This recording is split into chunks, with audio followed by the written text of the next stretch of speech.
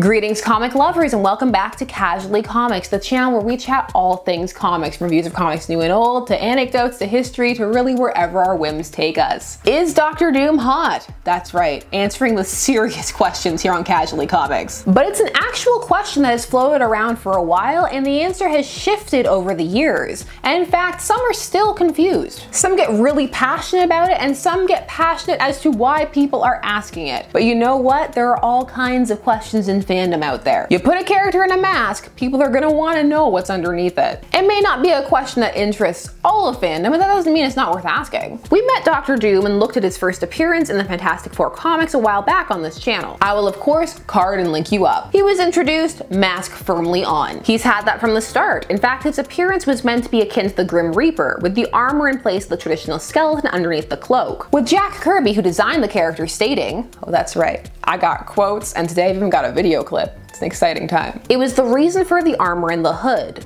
Death is connected with armor and the inhuman-like steel. Death is something without mercy, and human flesh contains that mercy. Kirby would also have some very interesting things to say about what Doom looked like underneath the mask, but that would occur years later. So, before we get started, I'm Sasha, and if you're enjoying this content, you know what to do. Hit that like button, hit that subscribe button, and join us on this comic book journey.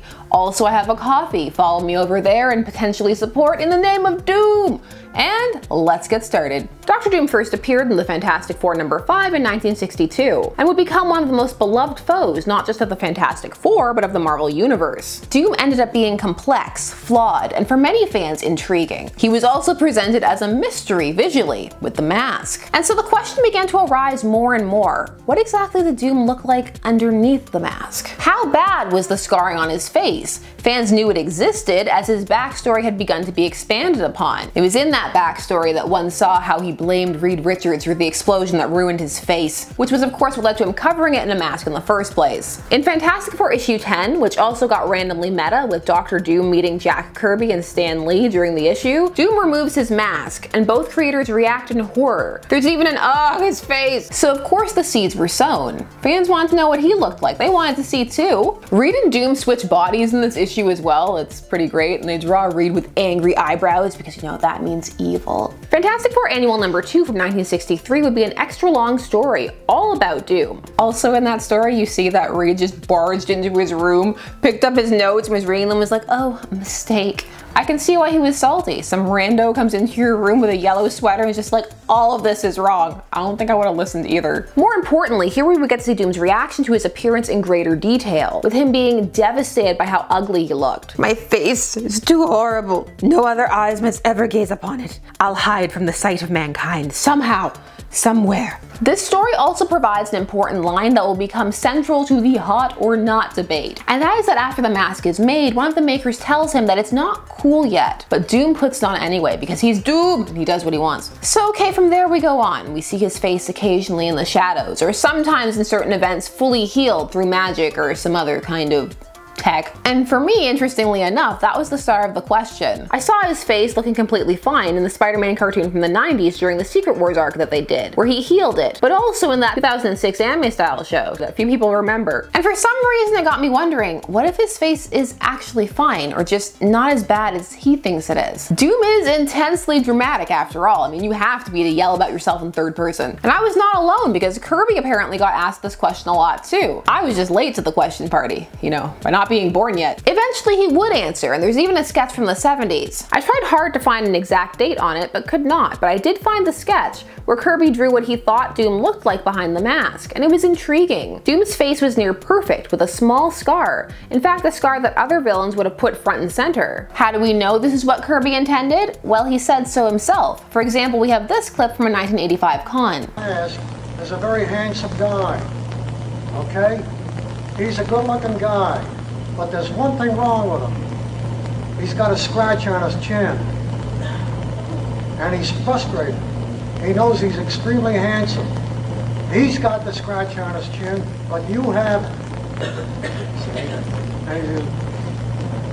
Why haven't you got a scratch on your chin? And of course, he doesn't realize that his own anger and frustration is mounting. He's not a bad guy, as you saw in a Fantastic Four he give the Fantastic Four a wonderful meal. before he kills him. He's a good looking guy, and he only has a tiny scar on his cheek. But because he's such a perfectionist, he can't bear to see that imperfection. He isn't hiding his face from the public, he's hiding it from himself. So okay, if that's the case, then why do most modern iterations show him having a more severely disfigured face and present it as this is the face of Doom? Why is there an argument as to what is correct? Well, to answer that, we have to look at John Byrne's interpretation. The Fantastic Four had waxed and waned in terms of popularity over the years, and writer John Byrne is credited with injecting them with some much needed lifeblood when he took over the run in 1981 with issue 232, and his Doctor Doom appeared in issue 236. He too would take his time expanding upon the Doom mythos. Byrne had a slightly different take on Doom's face, but it also lined up with Kirby's. Let me explain. This is possible because different writers have different takes, but the good ones can make everything still feel like the same character, or present the changes in such an appealing fashion they become preferable. Like what Byrne did with Superman. He made so many changes in his reboot, and most of them are now just considered to be core Superman facts. His Doom would have a noticeable scar along his cheek and chin, bigger than Kirby's, but still not to the extent of scarring that was implied. Here's where the it's not cool yet line comes into play. Doom would go to seek to have a mask made to hide his face, but once he got there, he was so impatient about putting it on that he put it on before it was cool, hence creating the very scars and injuries on his face that he already saw to the extent that he perceived them in his own mind. This at the time was attributed to his own vanity. There was a contention between the two versions as some felt that Byrne was being unfaithful to Kirby and Kirby is very beloved in fandom so if people sense in some way they feel he's being mistreated you better look out. There are pitchforks being sharpened, just duck and cover, run and hide. But I mean we can't question the realism of the explosion too much when it comes to Doom because really he should be dead because that blew up right in his face. People have gotten deep into this. Is this a retcon? Is it not a retcon? Does it make sense with the canon that happened before? I personally think they're both interesting stories that have potential. I'm also a fangirl, a shipper, and an occasional fanfic writer, so I'm also coming at it from a, well, there's always headcanons in your own space to write stories and explore the ideas if they ever aren't explored to the extent that you want within canon. Because contrary to popular belief by those who do not often delve too deeply into the fanfiction realm, it's not all self-inserts and Mary Sue's. A great deal of it, in fact, in many fandoms, the vast majority of it comes from exploring canonical hints and cues and expanding upon them. Yes, that includes shipping, but also includes various plot points or fix-its where people feel the canon has gone wrong. So many Dick Grayson fix-its out there. Many people in those fandoms are coming from a very strong canonical basis. Some aren't, but some are. Basically, it's a varied space is what I'm saying that cannot be defined simply as people tend to, just like the comic book space. It's also far older than many people think. The modern iteration that people recognize the most dates all the way back to the 60s, with the most prominent pairing being from Star Trek, but there were others around as well, and these were compiled into zines and a whole bunch of things. In fact, these zines were part of what helped to create the con space. The modern name for it, in terms of say terms like shipping that people have come to know, actually comes from the 90s and the X-Files. It dates even further back than that, even further back than all of that. But that is pretty self-inserty because they found stories written by the Bronte sisters about the Duke of Wellington and his adventures and their places in them. So this concept is old, it's not new. Tangent over. So is Doom hot? Yes and no. It depends on how much of a canonical stickler you are and where you are in the time period. And also both can work. This debate, however, does rage on to the point that some are confused as to how he should be portrayed. Like they'll see him and be like, is this, is this right?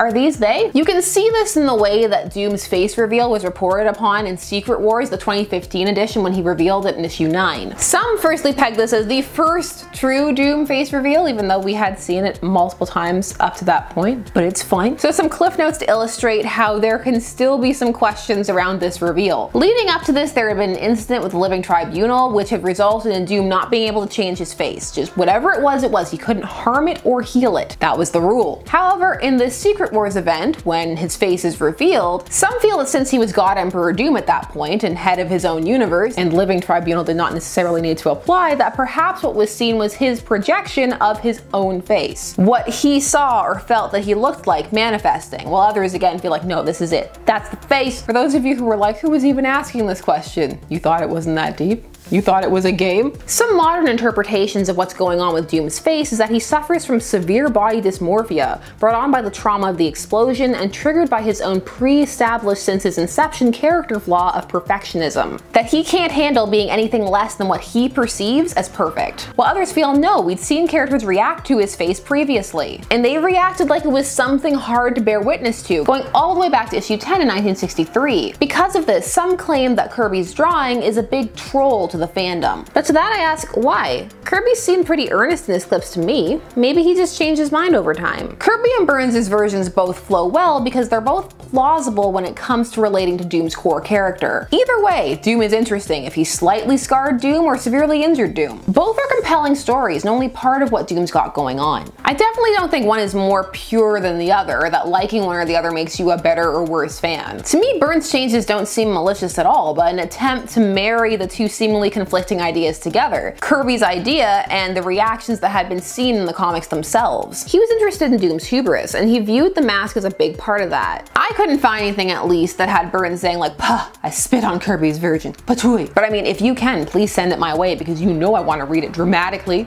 In issue 278 of Byrne's run, he uses the same panel as Kirby did in the second annual, or at least recreates it, which hardly sounds salty to me. I mean, although you could be playing the long game, hiding your salt for a later day. Interpretations change, and this one still can too. Maybe it already has. Dun dun dun. What are your thoughts on this? Are you pro scar Doom or are you pro body dysmorphia Doom? I have a scar. I guess I too can embark on a life of supervillainy, but I think I'd like to leave mine out.